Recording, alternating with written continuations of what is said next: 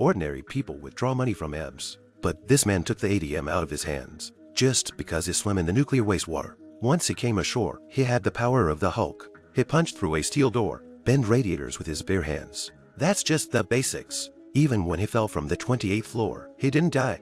Jeeg instantly realized that he didn't need to be a thief anymore. He had to make a good living out of his strength. Just as he walks out the door, he sees his neighbor Alessia being bullied by a gang. Jeeg calmly tries to pass by, but Zingaro, the gangster, spotted him.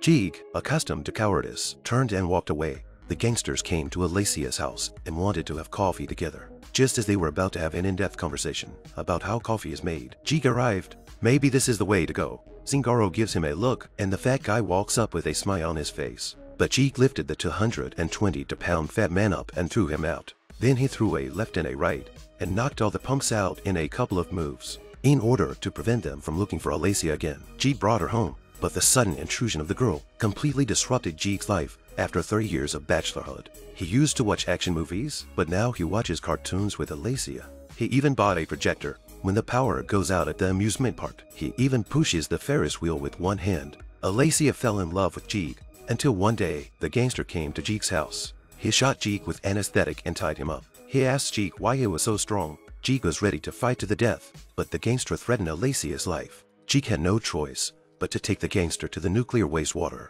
Jeeg said, my power is to take a bath here. The gangster was obviously not convinced. But then the gangster's enemies came to the door. There was a gunfight between the two groups. Alessia escapes, but the gangsters use her as a human shield. Jeeg rushes over, but it's too late. Then came a bigger crisis.